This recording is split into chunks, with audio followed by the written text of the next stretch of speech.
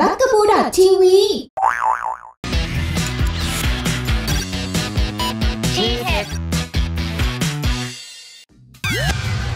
26 กันยายนที่ผ่านมา เชฟรอนประเทศไทยสำรวจและผลิตจำกัด ร่วมกับสำนักงานพัฒนาวิทยาศาสตร์และเทคโนโลยีแห่งชาติ หรือ สวทช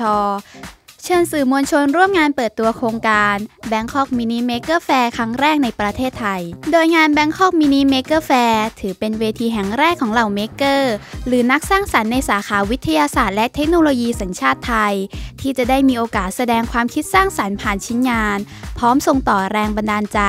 ความน่าตื่นตาตื่นใจทางวิทยาศาสตร์แก่ผู้ชมงาน ซึ่งภายในจะได้พบกับหุ่นยนต์ โมเดลจากเครื่องพิมพ์สามมิติกีตาร์ทำมือ งานออกแบบลวดลายจากธรรมชาติ จักรยานแบบใหม่ที่อาจไม่เคยเห็นที่ไหนมาก่อน รวมถึงโดรนขนาดจิ๋ว เรียนว่านะครับตอนนี้ทางสวทชเนี่ย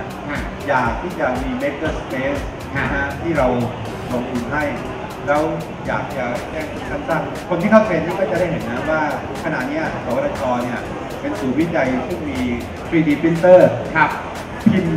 โลหะก็ได้ อ่าพิมพ์เรซินก็ได้ครับนะฮะพิมพ์ด้วยเทคนิคประหลาดๆของโลกเนี่ยนะฮะครับเรามีอยู่ในห้องแบบ พร้อมกันนี้ ในงานจะมีพื้นที่จัดแสดงผลงานของผู้เข้าประกวดโครงการ Enjoy Science Let's Print the World ซึ่งเป็นงานออกแบบเทคโนโลยีจากเครื่องพิมพ์สามมิติครั้งแรกในไทยร่วมจัดแสดงอีกด้วยค่ะ